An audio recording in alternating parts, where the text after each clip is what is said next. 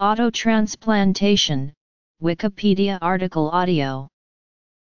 Autotransplantation is the transplantation of organs, tissues, or even particular proteins from one part of the body to another in the same person. The autologous tissue transplanted by such a procedure is called an autograft or autotransplant.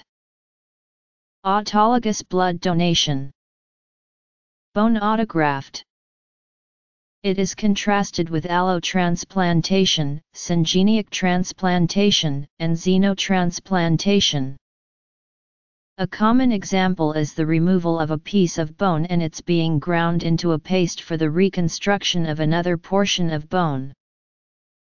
In blood banking terminology, autologous blood donation refers to a blood donation marked for use by the donor, typically for a scheduled surgery. They are commonly called autos by blood bank personnel, and it is one major form of the more general concept of autotransfusion.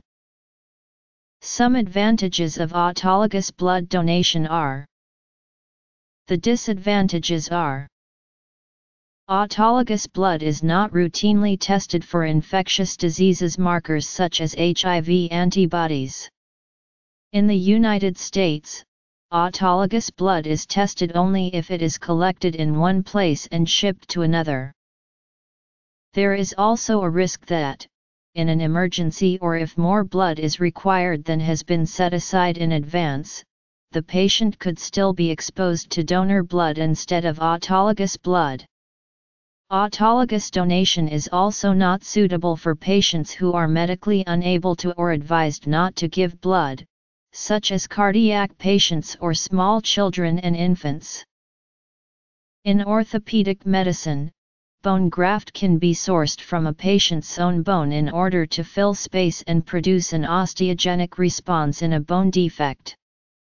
However, due to the donor site morbidity associated with autograft, other methods such as bone allograft and bone morphogenetic proteins and synthetic graft materials are often used as alternatives. Autografts have long been considered the gold standard in oral surgery and implant dentistry because it offered the best regenerations results. Lately, the introduction of morphogen-enhanced bone graft substitutes have shown to show similar success rates and quality of regeneration, however, their price is still very high. Blood type will always match, even with a rare blood type or antibody type. If only autologous blood is used during surgery the risk of exposure to infectious disease such as hepatitis or HIV from blood is eliminated, the risk of allergic reactions is reduced. Higher cost due to individualized processing, record keeping, and management, in most cases, the blood is discarded if it is not used instead of being added to the general supply. Blood donation prior to colorectal cancer surgery seemed causative for a worse overall and colorectal cancer specific survival.